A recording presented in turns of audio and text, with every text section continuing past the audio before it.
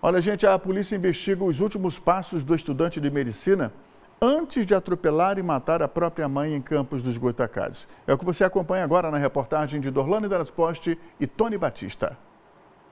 A Polícia Civil aguarda os laudos periciais para concluir o inquérito, inclusive as coletadas no local do acidente. As imagens das câmeras de segurança são fundamentais para fazer o trajeto de Carlos Eduardo Aquino Cardoso. Uma delas é a da descida da ponte Saturnino de Brito mais conhecida em Campos como Ponte da Lapa. Do flagrante, é possível ver o momento que o estudante de medicina, em uma manobra arriscada, desce a ponte com o veículo na contramão. As pessoas que estavam presentes no local, tanto os policiais militares que atenderam a ocorrência quanto as vítimas do outro veículo, elas relataram que ele sim estava desorientado, como se tivesse sob efeito de droga ou de álcool. Então, inicialmente seria uma, com todas as características de uma ocorrência de um homicídio culposo sob efeito de drogas, tá? que é um tipo penal do Código de, de Trânsito Brasileiro. Mas, a, a partir do momento que nós verificamos que a vítima seria a mãe e que esse autor ele teria um histórico muito vasto de violência física e verbal contra essa mãe, isso nos chamou a atenção. Então nós precisávamos saber se é, ele tinha ou não a intenção de praticar esse crime. A frieza de Carlos Eduardo no local do crime chamou a atenção das testemunhas e dos investigadores. Ele dirigia em alta velocidade em uma das avenidas mais movimentadas do bairro.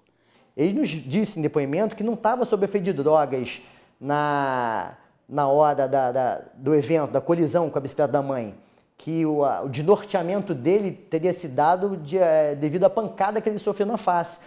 Então, até que ponto isso é plausível ou não? E se ele não estava sob efeito de, de drogas, por que então ele não teve a condição de perceber que havia uma outra pessoa ali, seja a mãe dele ou não? Mesmo diante do corpo da mãe ali, ele não esboçou qualquer reação de arrependimento, de tristeza, nada. Foi simplesmente frio e ficou mais preocupado com o que o pai achar do prejuízo material do carro. Eliana Lima Tavares, de 59 anos, não teve chance de sobreviver devido à colisão. De acordo com as investigações, ela teria ido atrás do filho, já que ele não teria autorização para dirigir o carro que pertence à irmã.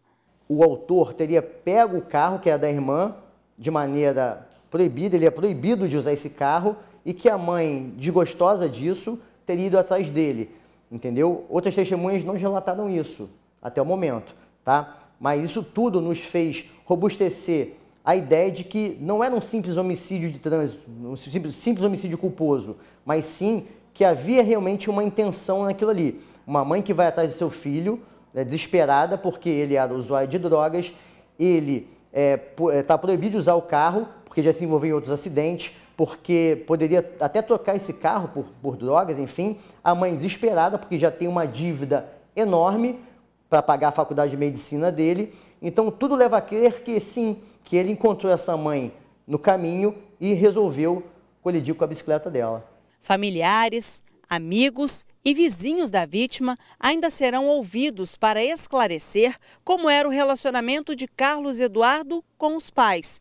Segundo a polícia, ele já tem um histórico de violência doméstica, com boletins de ocorrência de 2011 e 2015, registrados na Delegacia de Guarus e na DEAN, delegacia especializada no atendimento à mulher. Mas é preciso saber se houve algum episódio de agressão há pouco tempo. O estudante de medicina se apresentava nas redes sociais como um homem vaidoso que adorava praticar exercícios físicos e postava fotos ao lado dos pais. Mas a internet não mostrava um outro lado de Carlos Eduardo, que chegou a ser denunciado pelo exercício ilegal da profissão. Uma pessoa que era super protegida por esses pais, uma pessoa que tinha tudo o que queria.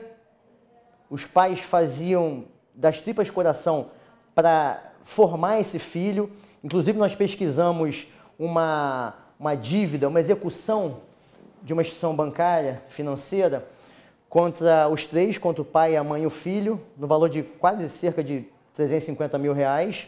muito proveniente de empréstimos né, para pagar essa faculdade. Então, os pais tinham esse sonho de vê-lo formado, só que ele não fazia por onde. Era uma pessoa que faltava às aulas na faculdade para ficar com namoradas, para usar drogas. A Polícia Civil aguarda a liberação das imagens do circuito interno de câmeras de uma agência bancária que fica na Pelinca, considerada área nobre de Campos. O objetivo é mapear o trajeto de Carlos Eduardo, do momento em que ele pediu dinheiro à mãe até quando ela foi atropelada.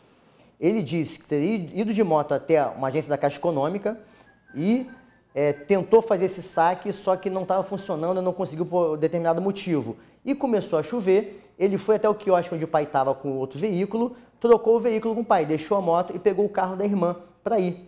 Entendeu? E aí, assim ele fez. Disse que foi até a Caixa Econômica ali da Pelinca. Nós vamos verificar ainda essas câmeras, se isso é, é verídico ou não. E no trajeto de volta, passou na comunidade de Tiragosto, fez a compra de droga que ele falou, mas disse que não usou, que depois teria descartado essa droga no próprio hospital para onde ele foi levado. Olha, diante de todos os fatos que vêm sendo desvendados a cada capítulo, né? É como se fosse um novelo de lança, puxou um fio, vai puxando, quanto mais você puxa, mais linha vem, né? E, e a cada capítulo a gente vê o quanto essa mãe sofreu, tá? Ao lado do filho, ao lado do marido, porque também há queixas do, de agressão por parte do marido eu chego à conclusão que ela descansou, tá? mas a gente vai continuar acompanhando. Tem muita água para passar ainda embaixo dessa ponte. Inclusive, o Cadu, o Carlos Eduardo, foi transferido de presídio. Fala com o Granger Ferreira, ele tem informações para a gente a respeito dessa transferência, Granger. Isso mesmo, Alexandre. Carlos Eduardo Aquino foi transferido do presídio Carlos Tinoco da Fonseca, em Campos, para o presídio Norberto Ferreira de Moraes, no município de Itaperona.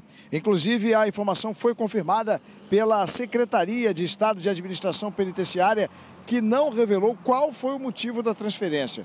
Carlos Eduardo teve a prisão preventiva decretada na última quinta-feira e a ocorrência segue em investigação na delegacia de Guarulhos, Alexandre. Olha, Grande, a minha experiência de, de jornalismo, e, e, nesses casos assim, geralmente a transferência ocorre quando há uma, um risco de, de vida da, do, da pessoa, do detento.